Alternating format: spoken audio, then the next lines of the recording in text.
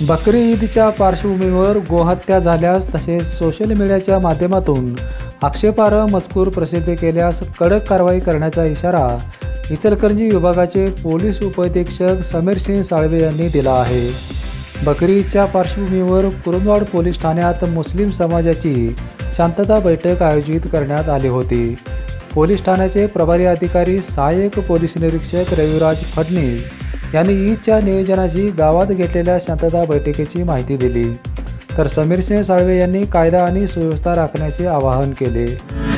प्रसार माध्यमे social media याच्यावरून आक्षेपार्ह मेसेज टाकणे आणि त्यातून धार्मिक भावना दुखावणे यांसारखे प्रकार होऊ नयेत त्यासोबत गोवंश हत्या होऊ नये याकरता देखील सूचना सर्व संबंधितांना देण्यात आलेल्या आहेत.